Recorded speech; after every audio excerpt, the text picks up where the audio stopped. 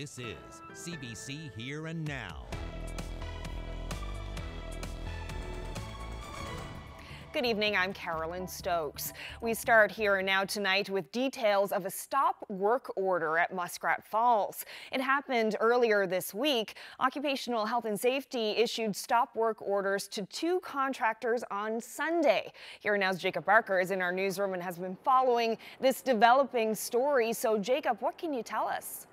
Yeah, Carolyn, well, what I can tell you is that we don't really have the full picture right now from Nalcor, but what we do know is that workers were sent home from the powerhouse on Sunday, and since then they have returned uh, to work on the site, but on different aspects of the project.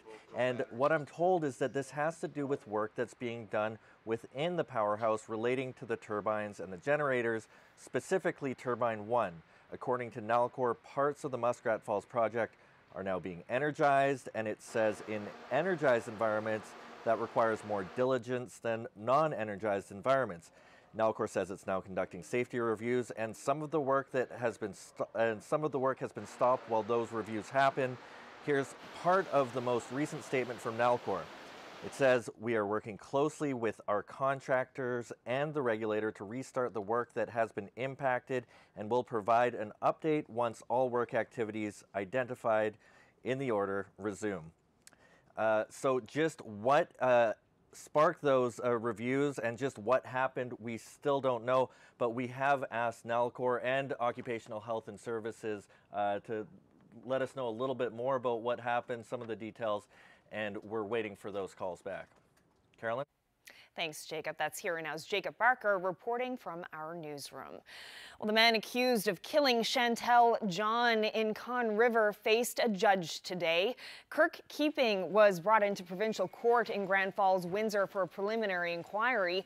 That's where a judge will decide if there's enough evidence to send him to trial. About a dozen friends and family of Chantel John drove from Conne River to see the proceedings. They were met with extra security measures in the courthouse.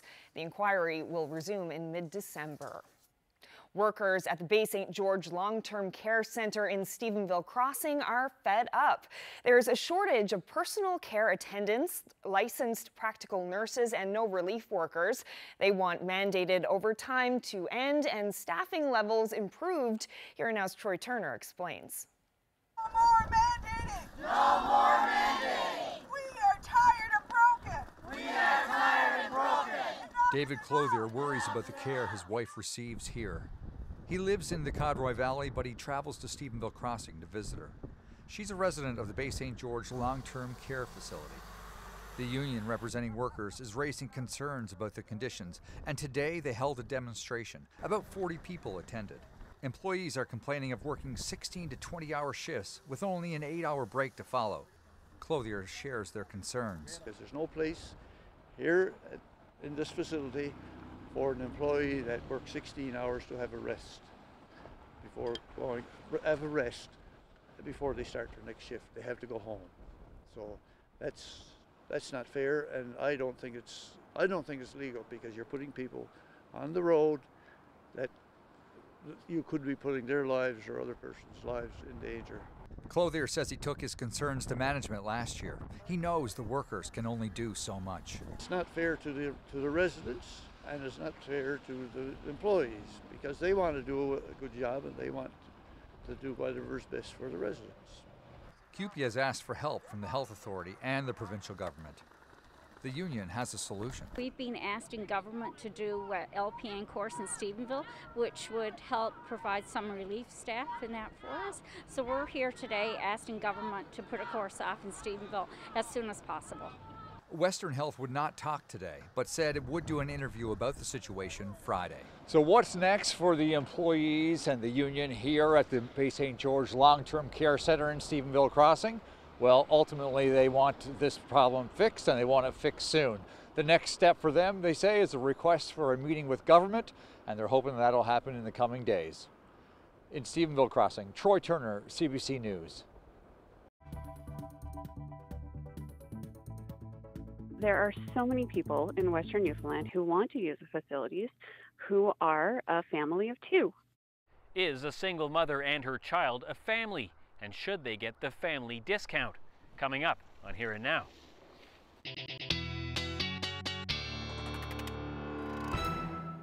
Mild day for parts of the west coast. Your temperatures reaching 12 degrees in Corner Brook, uh, 9 degrees in St. John's today, even though uh, we're sitting around seasonal for this time of year. Those gusty winds this afternoon making it feel a lot more chilly uh, than that thermometer saying. So we've got 41 kilometer per hour sustained winds right now. The good news is we should start to see those winds ease as we head through the night tonight.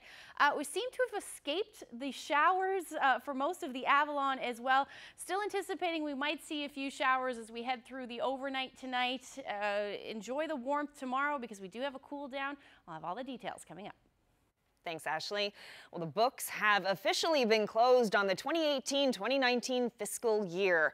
And while the province is still in a deep hole, the final numbers are not far off what was expected. Here now's Terry Roberts joins us live from our newsroom with the details. Terry. Uh, yeah, well, Carolyn, well, you remember uh, back in April, that was before the provincial election, Finance Minister Tom Osborne gave a revised deficit for the 2018 fiscal year. That projected shortfall at that time was about 522 million. Well, the final numbers are now in, and the numbers are, uh, you know, it's millions of dollars higher than, than what was projected. Now, here's how it all breaks down. So the audited financial statements puts the deficit at more than 552 million. So that's an increase of 30.6 million from what the finance department was forecasting back in uh, April, but far below the 682 million deficit government was predicting when budget 2018 was originally tabled. So how was government able to shave 130 million off that original deficit forecast? Mostly you can thank higher income from the offshore oil industry. That swelled our total revenues to more than 7.8 billion. That's a half billion dollars more than the year before. But our expenses were also higher than projected. More than 2% in fact over last year, coming in at 8.4 billion. It's that jump in expenses that has the opposition up in arms today. I think that it's trending in the wrong direction again. We have continued to see an upward trend in our expenditures and let's not lose sight of the fact, well, they talk about a 30 million difference. Actual expenditures went up by $100 million. And over the last five years, they've continued to go up. Yeah, so uh, Wakeham says, look, it's fortunate that the revenues are going up, but he says this additional money should be used to reduce those deficits. Uh, meanwhile, the finance minister was uh, he was uh, defending that extra spending today, saying it was really in line with the rate of inflation and he turned things around once again on the Tories, saying the Liberals are still trying to clean up the mess left by the Tories. Our legacy as a government has been reducing deficits. We've done it year over year over year. Uh, I'm not going to take lessons from an administration who their legacy was putting our deficit over $2 billion and, and providing the, the province with a boondoggle uh, that uh, puts jeopardy to the people of the province in terms of increased borrowing. Our, our direct and indirect debt, uh, one, over one third of that is directly attributable to Nalcor and in large part Muskrat Falls. You know, so we're focused on fixing things, and that's what we're going to continue to do. We've got a yeah, so Osborne, as he said there, he's, they're still striving hard to try and balance the books, but he also admitted once again today that that's not likely to happen within the next couple of years as planned. Carolyn? Thanks, Terry. That's here now. It's Terry Roberts reporting. Well, time to check in with Jeremy Eaton at the Public Library tonight, where a group is hoping to beef up the province's Wikipedia profile. Jeremy.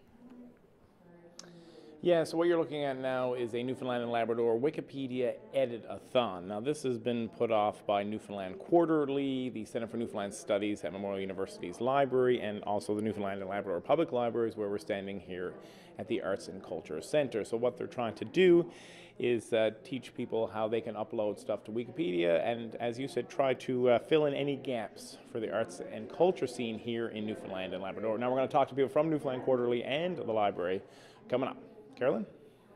Thanks, Jeremy.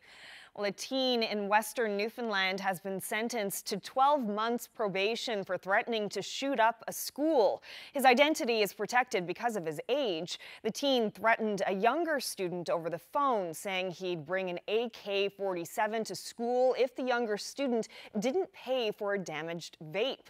While there was no evidence he would have carried out the threat, a judge says it caused significant fear and anxiety. The boy has been banned from possessing any firearms or ammunition for five years. He was previously convicted of several motor vehicle thefts, damaging property, and carelessly using a firearm. The judge noted the teen has taken responsibility for his actions and is attending school. Well, the province's English School Board is trying to get students to stop vaping. There have been a number of vaping linked deaths in the U.S. The board says the number of young people in Newfoundland and Labrador using e cigarettes has risen over the past two years. Teachers and staff are now trying to start a discussion with students about the dangers of vaping. Over the next week, all students from grade 7 to 12 will learn about vaping. Well, the tech sector in this province celebrated another big win today. Breathe Sweet, a startup with a solution to problems with inhalers, has received $550,000 in private funding. As Here Now's Ryan Cook reports, it's another sign that within the local tech industry, the kids are all right. It's a room full of established professionals in suits, businessmen and politicians, and they're here for 23 year old Brett Vokey, a young man with a fresh face, a fresh degree, and a half million dollars to help grow his business. Thank you all for being here, uh, and we're, we're hiring. this funding is the latest success story for the local tech sector and the youth movement within it. Vokey saw a problem. About 90% of people using inhalers are using them wrong. He created a device and a matching app to track how people are using them to ensure they're doing it right. It actually requires quite a bit of coordination. So it's actually not that surprising that people are using it incorrectly because it's quite difficult to use them in the first place. Um, so our, our device is going to essentially track all of those steps, um, give the user feedback in, in a, mo- a, mobile app, and, and hopefully train them to get more medication to their lungs. Vokey says they'll use the funding to grow their team from five employees to at least 10, and they're looking for a pair of software engineers right now. Breathe Sweet got its start at the MUN Center for Entrepreneurship under director Florian Villamet. It's another success story, along with startups like CoLab and Mysa. In fact, MCE was just named one of the top five emerging entrepreneurship centers in the world. We are very proud as a team to what uh, has been accomplished by uh, those startups, and we wish uh, them all the best, and I'm sure they're going to change the world. Vokey is hoping this money will help them crack the U.S. market and get their product on shelves soon. It took a lot of, I guess, hard work, but um, you know we're, we're really excited for, for what's what's happening in the future. Ryan Cook, CBC News, St. John's.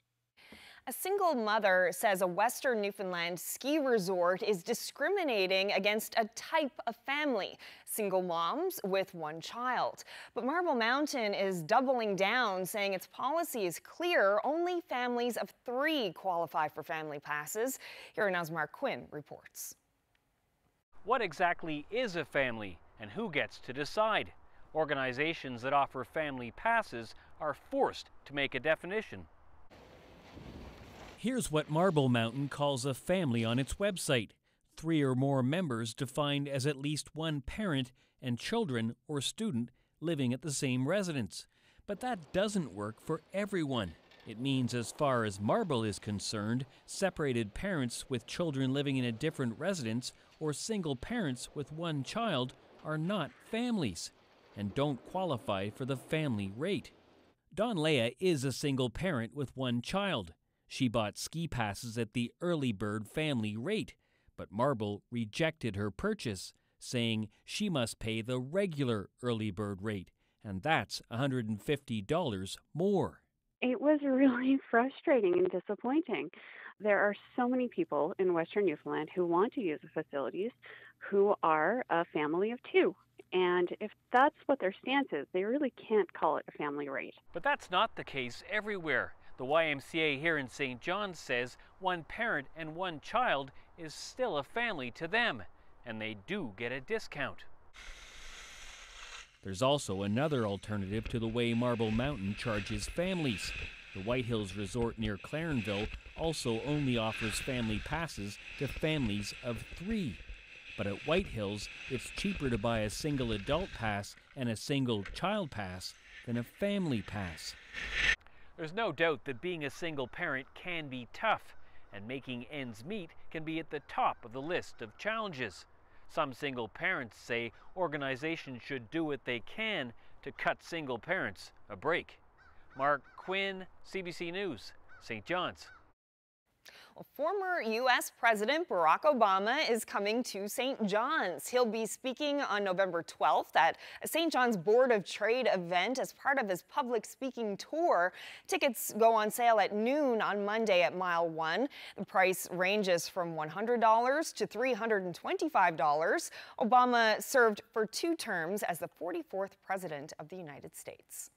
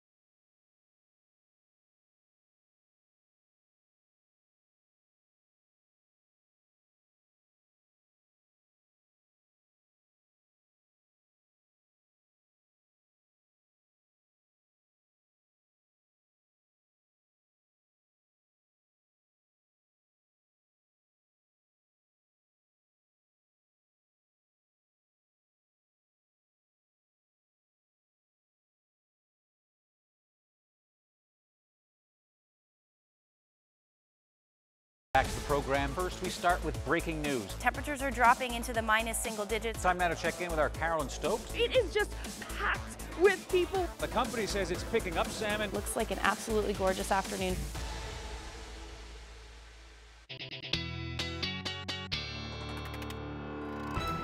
Welcome back, everyone. Now, before we get to uh, the weather, you may have noticed that uh, Jimmy Kimmel's obsession with a certain uh, town in this province is uh, back in the news. Yeah. You seen that? I did. I saw that. Yeah. Yeah, you may recall uh, that the late night comedian became the honorary mayor of Dildo a couple of months back. Well, a Newfoundland family ran into Kimmel when they were vacationing in New York. Just have a look. My people, we were just laughing it off, and it was it was hilarious. It was so exciting. And my husband said, "Hey, we got to get some pictures with my wife." And so the three of us got together. We got our picture. He was awesome. I think this might have been the best selfie my husband had taken. Exciting. He still hasn't come though. No, not here no, yet. No, no word of him coming at all. Oh well. Ah, maybe he will. You never know. Yeah. Well, if he went to Labrador, he would see a very interesting uh, sight this morning. Yeah, it certainly would. Uh, you know, we're a week away from Halloween now, but uh, it kind of looked like we were a week away from uh, Christmas. Take a look at this photo. This was uh, sent to us from Lab West. Beautiful, though. It is, but I'm just not ready for snow. Don't worry. It's not here anytime soon. Yet, at least not in the forecast. but yeah, so uh, about five centimeters of snow fell this uh, last night into this morning, and it was about nine millimeters of precipitation. So that just means the snow was really wet. So probably good for making some snowmen, maybe even a snow pumpkin. Uh, but I doubt that it'll last for the next week or so. But uh, here's a look at those temperatures. So quite cool still up through Lab City. Four degrees right now as we speak. Eight degrees in St. John's and Badger sitting around 11 degrees right now. And uh, you can see, mentioned it a little bit earlier, but we seem to have escaped the showers for most of the Avalon today. But we are looking at some cloud cover through the night tonight and generally cloudy up through Labrador as well. Those winds that we saw a little bit earlier are going to ease as we head through the night tonight. About 25 kilometer per hour with gusts upwards of about 40 kilometers per hour for most of us across the island. And then they're just going to pick right back up again tomorrow night. Not nearly as windy as we saw today, but it will still be a little bit breezy through the afternoon. So here's a look at tonight. We will see some showers develop by the early morning hours, especially along the west coast. Parts of central will likely see a few uh, clear breaks overnight tonight.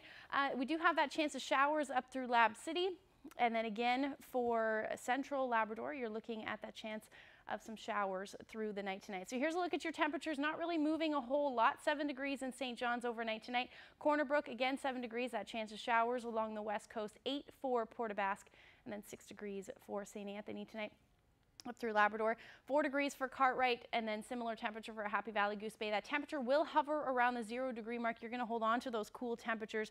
So the showers will change over or likely change over to uh, some flurries overnight tonight for Lab City or parts of Lab West. Now tomorrow, those showers along the west coast will spread across the island. We'll more than likely see cloudy periods through the day, some sunshine for parts of the Avalon as well.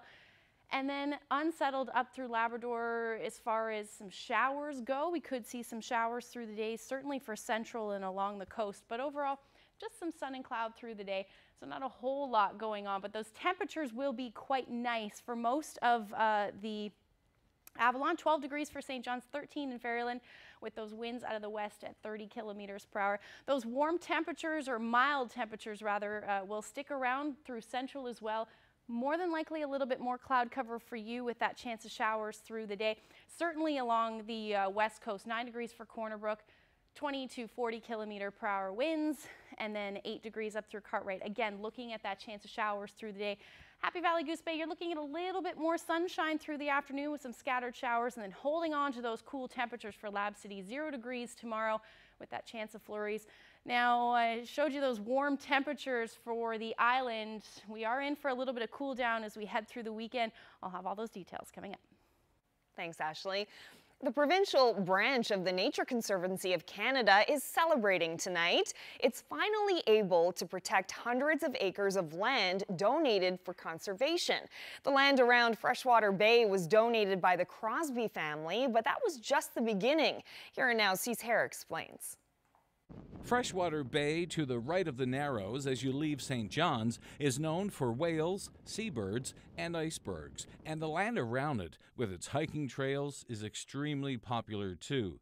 Two years ago, the Crosby family, through their company, Crosby Group Limited, donated 243 acres of land in the area. We kind of checked it against our, our checklist of um, what we call biodiversity targets, essentially things we want to protect. Uh, and with its forest and wetlands, some seabirds off the side of it, um, we you know decided that yes, it was of great conservation value and also has a lot of recreational value.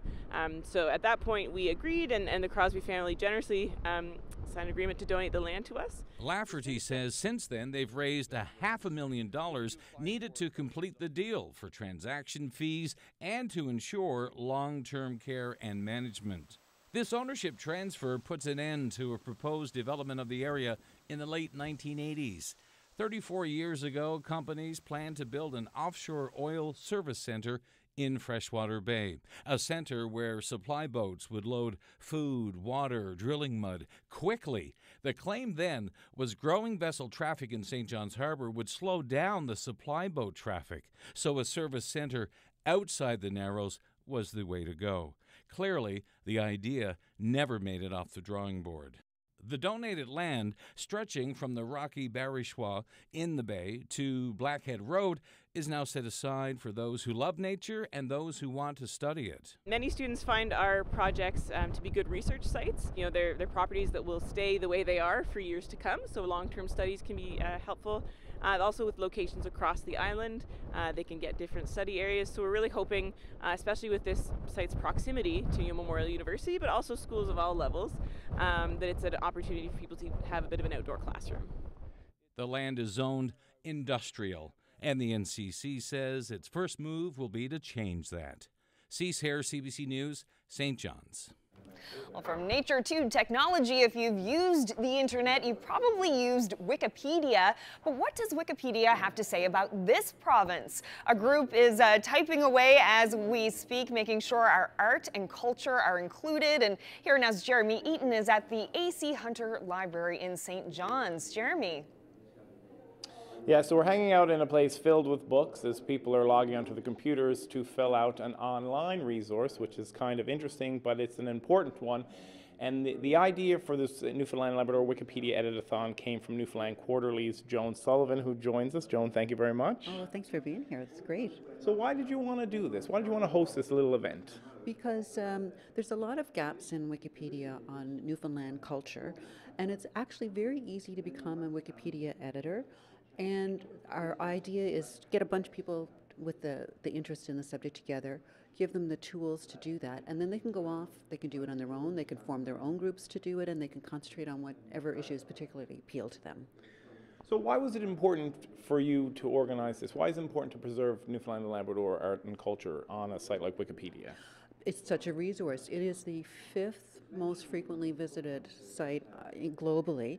That's where everybody goes when, when they say, who was that actor? What, what film were they in? And who wrote that book? And what year did this happen? They go to Wikipedia. First time, everybody knows it's a little unstable factually. You know, you have to be careful, but it's a great start to learning about whatever subject. And what better subject than Newfoundland Labrador culture? None. That's a good point. Now, so what did you do when people showed up here tonight? Uh, what did you do with them? Uh, like, did you walk them through them, signing up for accounts? So, sort of, what happened when people showed up here tonight? It's a step-by-step process to how to become an editor, how to uh, make a citation, how to make a link, how to expand text, um, how, the layout of the page from the brief synopsis up on, on the top to the different categories that the Wikipedia itself will generate when you put the material in. And then everybody just started playing with the different pages. So there's a few people, a number of people showed up here tonight. Is this sort of something you'd like to do it again? Would you like to see this sort of grow, to see more people getting involved so that we preserve more of our culture on this massive website? Yes, I, absolutely. So does it, I'd love to do more events like this again, but also people can just get together in a coffee shop and do it, or online. You don't have to physically be together. Um, so have you, do you use, do you use Wikipedia a lot yourself? Yes. Like how often would you say that you would log on to this website? Three times a day. yeah. And can I ask you a personal question? What sort of things are you looking up? Uh, what sort of things interest Joan Sullivan? Well, for example, I recently wrote about Anne Hart, the, the librarian that passed away, and my starting point was just because I start to get with her birthday and uh, her major awards, all that kind of stuff. I start there, but on a personal level, I you are always going, you know, what was that movie and Buddy was in it and the girl. and you, you know, that's where you go and find that information. And uh, uh, for some reason, I was looking up some stuff about President Buchanan earlier this morning. But anyway, that was yeah. Well, I uh, appreciate your time. Thank, thanks so much for joining us, Joan, and thanks so much for putting this together and taking the time to chat to us. And uh, I was just uh, chatting with Joan about Wikipedia, and Carolyn, uh, you'll be pretty sad to know that neither you nor I have a Wikipedia page, okay, but we'll but maybe we can all change that.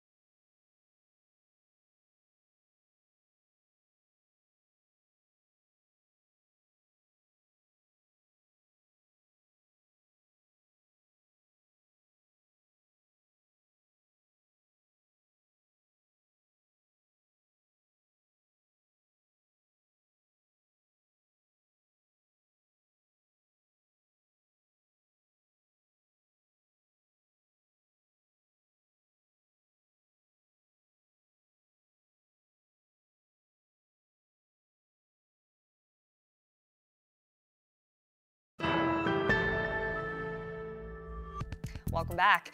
Well, if you've been on social media this week, you've probably noticed Newfoundland and Labrador became a punching bag for some people angry with the results of Monday's election, with West Coasters doing much of the mudslinging.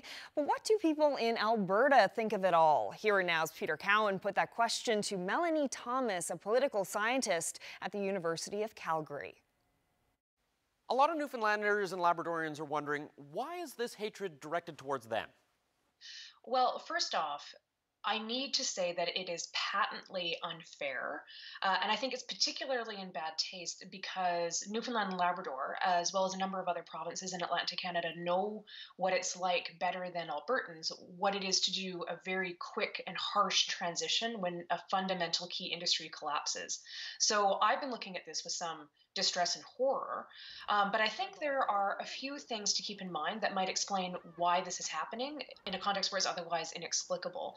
And for me, what helps explain it is a particular kind of partisanship. And so I want to say, first of all, that it's being a partisan is not a bad thing, and being feeling, feeling very strongly about your party is also not a bad thing. But what I think we're seeing here is a context where people have adopted their partisanship as a social identity, and in that, there's an emotional process that comes along where people see their party uh, as like if there's anything that is perceived to threaten the status of their party or their emotions are tied really closely to their party's fortunes. And so i think people are reacting from a polarized partisan place and they're feeling emotions on the part of their party. So if it was a positive outcome there would be this euphoria but because it's not the outcome that was expected or hoped for there's a really strong negative reaction and i think that's where the lashing out comes from what do you think though is really driving Newfoundland and Labrador in particular to be the target because when you look at the argument, seven seats here isn't going to have a big impact, even in a minority environment. You know, even if every seat had gone conservative here, the landscape would look very much the same. Exactly. And I think what's going on is this idea of conflating energy in general in Canada with oil and gas, and particularly with oil and gas from Alberta. And so it's resting on a lot of stereotypes about uh, people from Newfoundland and Labrador coming and working out in the oil patch uh, up by Fort McMurray. Now, what's interesting about this is that when we ask Albertans how important they think oil and gas is in particular is for Alberta's prosperity. 70% of Albertans will tell us that it's very important for Alberta, while only 24% will say that it's um, important for their own personal prosperity. So, what I see in this case is that it's extended beyond people who are directly connected to oil and gas into this question of identity, and that pulls the emotions and stuff into it as well. Is this just a one time outburst where people have strong emotions and they may be saying something out online without a filter? Or is this a longer term issue? Should we be more concerned about this and actually doing something to try and deal with the, this perception? So I wish I could say that I thought this was a short term burst of aggravation, but what I think is actually going on is that this is a um, political tool that's being used very effectively for other purposes. And so, one of the ways that I ex- am thinking about why all of this narrative about Alberta being so angry has been coming out now when the partisan distribution of the seats that Alberta sent to Ottawa is a, roughly the same as what it's been since 1972. In this case, 2015 was the outlier, not this particular election. So I'm finding it interesting that this narrative that Canada is now so divided because Alberta is angry narrative to be one that doesn't necessarily have a lot of evidence to suggest that there's been a big shift and the thing is, in the short term, it is a really effective political tool for those who are using it. And so this is my fear that this is not going to go away anytime soon. I do think the aggravation directed at Newfoundland and Labrador was an unintended, unintended consequence of that. I think that the target that people are expecting Albertans to direct this at is is the federal government. Uh, I was taken aback by the targeting of Newfoundland, um, but I'm not surprised that that got brought into the mix either. Well, thank you very much for sharing your thoughts with us today. Thank you. And that was here now's Peter Cowan speaking with Melanie Thomas, who teaches voting behavior at the University of Calgary. That's where we reached her earlier today. A new mentorship program was launched today to help people living with a disability explore different occupations, passions, or skills. It's called Mentorability, and the launch happened at a St. John's Pool Hall. We stopped by to find out more.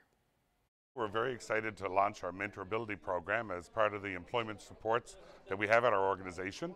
So it's an opportunity for people to come in, have a game of pool, and maybe get paired up with a mentor, uh, somebody who can talk to them about the job that they have.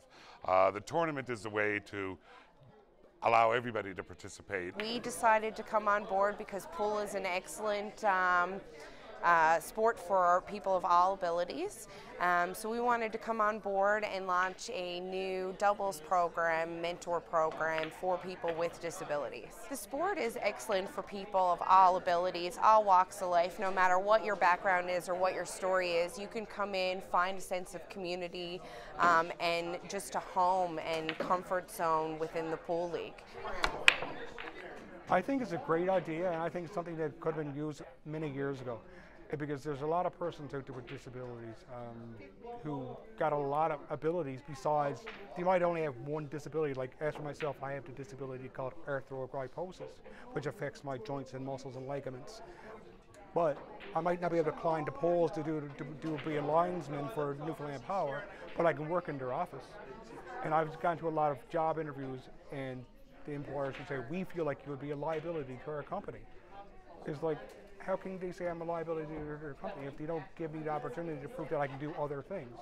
So has, as having a mentor to guide you along and to see that you do have other abilities besides what your disability is is um, beneficial to everybody. For a while, from, for a few years actually, um, before, I used, I used to think, what's the point of even applying? What's the point of even trying? You're going to shut me down even before I walk into the door. You got all these able-bodied people who are given the first priority, even though they might not do the job so well as what I can do. But I'm not given the chance to show that I can do the job because of my disability. We've had an opportunity for people to say, this is what I do, and I'm going to share the information, and maybe with that information you can make a career choice. It's about giving people more opportunity to understand what a job really is in a particular area. So if you're a doctor, or if you're a mechanic, or if you're a pipe fitter, it's an opportunity. What are the skills involved with those jobs, and how would I learn about those skills? And so this is really a, a part of a national program that we've linked up with uh, all the other provinces, and we're one of the places that are offering an opportunity for people to link up and find out what jobs are out there and how can I get more information.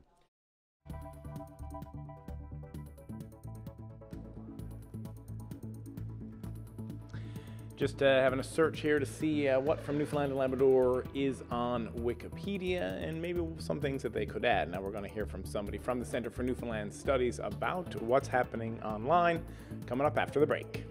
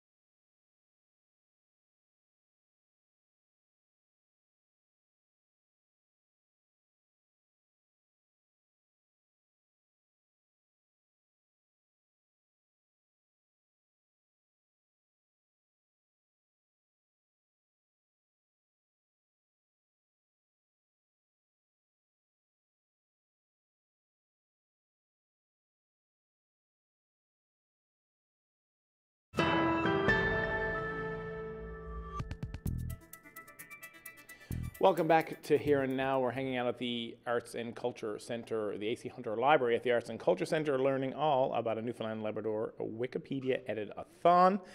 And with me now is Jenny Higgins from the Center for Newfoundland Studies. Jenny, because I'm going to screw it up, what is your what's your job title there? I am the Wikipedian in residence at the Center for Newfoundland Studies. What's a Wikipedian in residence mean? What does that mean, Jenny? Um, so I am going to lead Wikipedia edit-a-thons, and I'm going to teach people how to use Wikipedia and increase and improve Newfoundland and Labrador content using really good reference materials from the Center for Newfoundland Studies and other libraries like this one here we're in today. So this job, is this a new job? When was this created and when did you get in, when did you jump into it? Yeah, uh, two weeks ago, I, st I started this job. It's a part-time job. I started two weeks ago. So uh, yeah, I'm very busy already at my first edit-a-thon.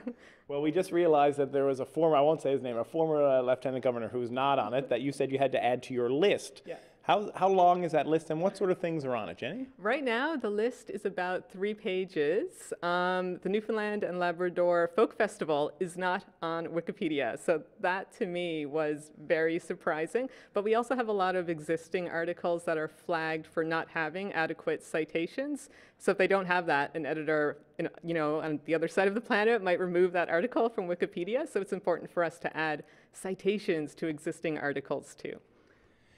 Is this, it's, the list is probably long and it's only going to grow longer. Is, is this sort of a, a challenge you're excited about embracing? Because it seems that we, Newfoundland Labrador has a lot of culture. Wikipedia is a massive site. Uh, so you, you're prepared to do a lot of work over the next little while? I'm prepared to do a lot of work. Um, yeah, I am excited about it. Before I came here, I wrote for the Newfoundland and Labrador Heritage website, uh, which was basically an encyclopedia of Newfoundland and Labrador history and culture. So I do have a very general and broad knowledge, and I'm pretty excited to fill the gaps in Wikipedia because so many people use it. I mean, Google, if you Google anything, Wikipedia is going to be in the top three returns, right? So yeah, I do, I find this very exciting. Now, I know you're, you're a published author but, author, but you've also worked in the library for a little while. Is that correct? Yeah, I've worked in a library, in a circulation desk, also as a researcher. I've also worked in an archive. so how important is this Wikipedia tool to first year students, to, to university students this day and age, as opposed to when I went to university, and when you went to university, when we actually had to go look it up in the books? Yeah.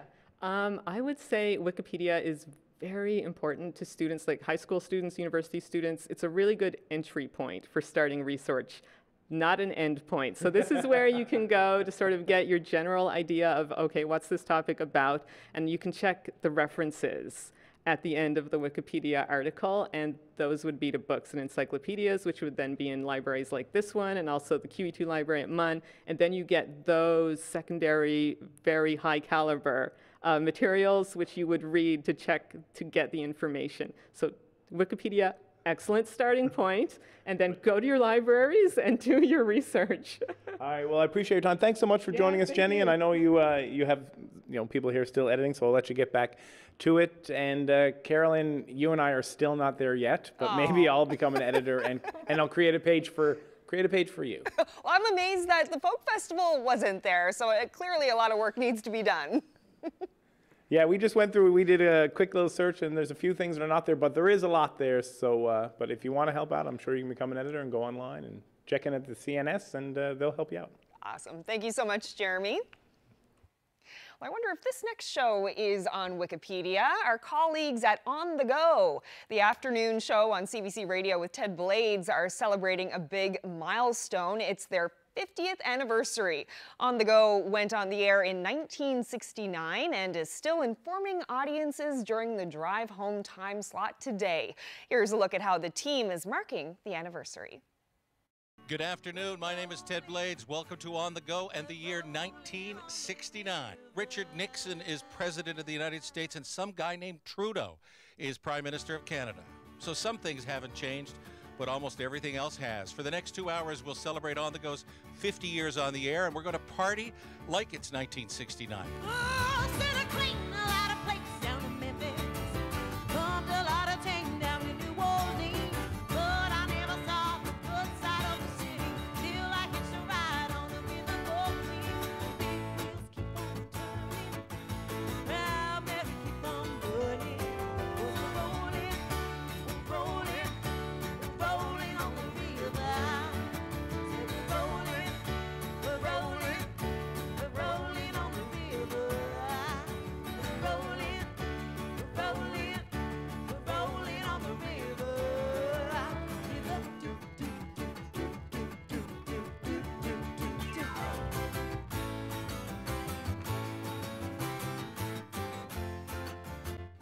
cabinet is supposed to be, if not a, a meeting of equals, a, a meeting of people relatively equal to, to come up to a group decision on how to govern, how to make, how to move forward on some issue. With Joey in the room as the premier, what was that like? Well, Joey was uh, governed by whim, you know, whatever occurred to him that morning when he got out of bed, good, bad, or indifferent, that's what became the policy of the day. So people like myself and Roberts and others involved in the government, Bill Callahan, for example, John Mahoney, people like that, we spent our time uh, trying to hold back the floodwaters of Joey's brainwaves. Now, luckily, because John Crosbie and Clyde Wells and uh, Alex Hickman and others had left Joey's cabinet, Joey had no, no uh, room to maneuver. So he couldn't threaten to kick us out because then he'd have nobody. So we were able to withstand most of the mad schemes that were coming up. But even so, trying to deal with John C. Doyle and John Shaheen, come by Chance Refinery, the linerboard mill, that was no picnic.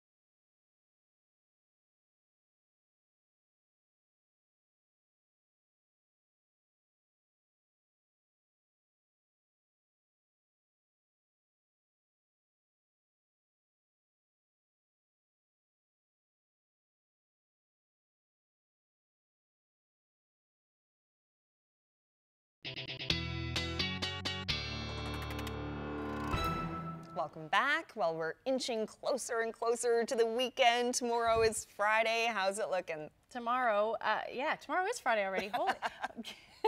Let's take a look at that forecast. Uh, just caught me off guard a little bit there, even though it's been Thursday all day. Uh, 12 degrees is the afternoon high tomorrow for St. John. So a good start to the weekend as far as those temperatures go. But again, going to hang on to those cooler temperatures up through Lab City. Zero degrees for you and that chance of shower or uh, flurries will be through the afternoon. Now we do have some cooler air on the horizon and that's because of where the jet stream is going to be over the next, or at least over the weekend. So we're going to see a really big dip in the jet stream. That's going to funnel some of that colder Arctic air. Now it's going to moderate itself, so it's not going to be that cold, but we are still looking at below seasonal temperatures uh, through most of the weekend. But the good news is, is that cold air retreats further uh, back north, and we're going to see a big ridge in the jet stream, and that's going to bring in some warmer air as we head into midweek next week and it looks like it'll take us into uh, at least parts of the weekend. We are, we do have uh, Halloween uh, next week. So hopefully these warmer temperatures will stick around as well. So here's a look at what the future tracker is showing. A little bit of uncertainty as far as what the weekend will be as of now, but we do have some flurries moving through. So this will take us through again on Friday, but into Saturday, we do still have the influence of that low pressure system that's sitting offshore. So more than likely going to see some showers to start the day on Saturday. The ridge of high pressure is in behind us and just how strong that is will determine how much sunshine we see through the weekend. So as of now, it does look like some cloudy periods through the day on Saturday. Still can't rule out that chance of showers for central and eastern Newfoundland through the day. And then that chance of showers and or flurries along coastal areas of Labrador as well. Otherwise, it looks like we should see a mix of sun and cloud. Sunday right now is when it looks like we'll take hold of that low pressure, or uh, rather high pressure system. So a little bit more sunshine in the forecast, certainly for Lab West and through Central and then parts of Western Newfoundland as well. But again, uh, we could see some coastal areas of some showers and maybe even some drizzle or fog, depending on uh, how, just how uh, that low pressure or high pressure rather takes uh, force over us. So here's a look at uh, what we're going to see on Saturday. Those temperatures are going to dip, like I mentioned, seven degrees for St. John's uh, and then plenty of sunshine up through Labrador. Now over the next five days, here's where we're looking. So sunshine. Uh, by the time Monday and Tuesday rolls around, we'll see a little bit of bump up in those temperatures, as I mentioned. Same thing for central Newfoundland, double digits it looks like by Tuesday. Your overnight lows uh, minus unfortunately. And then for Western Newfoundland, you're looking at sunshine right from Sunday pretty much until Tuesday as that ridge of high pressure takes hold. And then up through uh, Eastern Labrador, seasonal temperatures for Saturday and Sunday. And then we go back up to those temperatures as well. And then for Western Labrador, seasonal by Saturday, which is zero degrees. And then you're going to bump up above seasonal for the beginning of next week.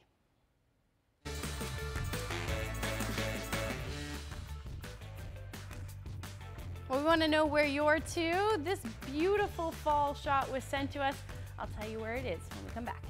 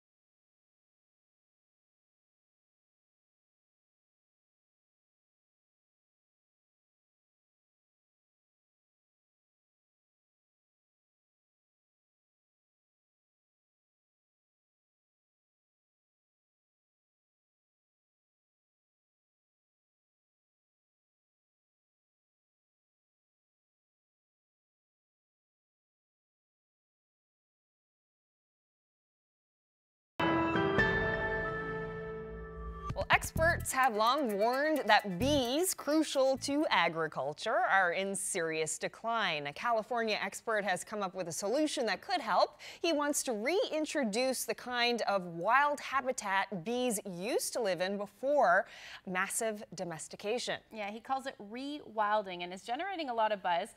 And here's a man who loves bees almost as much as Carolyn.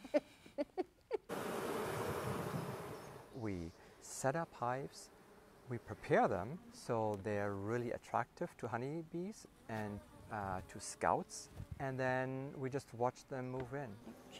They're circulating air, and so the air is coming out here. It sometimes makes me so emotional because it's almost as if honeybees make the fragility of life so palpable and as if they are really mirroring yeah, where we are in this time on this planet. We can do this very, very simple thing return bees into their natural nest environment, into their natural biosphere, because we need to do everything we can to protect them. If we lose them due to human induced mass extinction, will there be a tomorrow? Oh, love him. Something to think about. but before we go, we'll show you this uh, gorgeous photo. I guessed it. Yep, Bowering Park. Ray Stanford sent us that gorgeous shot. It will definitely go out on that. We'll leave you. Good for night. this evening. Thanks for watching, everyone. Good night.